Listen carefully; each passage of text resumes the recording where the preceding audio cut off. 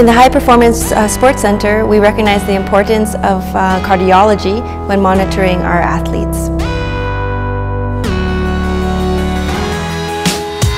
Although regular exercise and training brings with it cardiovascular benefits, there exists a number of athletes with undiagnosed cardiopathy for which intense training can pose unfavorable outcomes.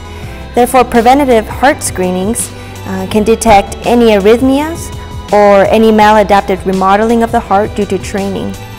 The advantages of monitoring the athletes here in the High Performance Sports Center are that, that one, the tests are conducted by professionals with years of experience in the area of cardiology, sudden death syndrome, and sport.